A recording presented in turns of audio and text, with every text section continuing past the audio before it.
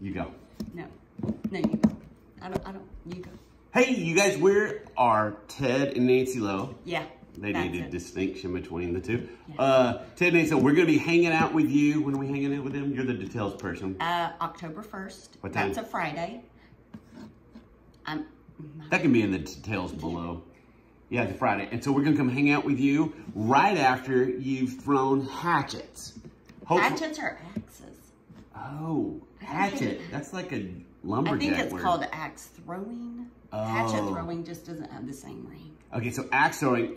So after they've thrown axes with each other, Yes, not at each other with yeah, that's a big difference. Uh, we're gonna hang out with them and we're gonna laugh and have a great time because everybody's ready to get out of the house. Yeah, it's gonna be great. It's gonna be great.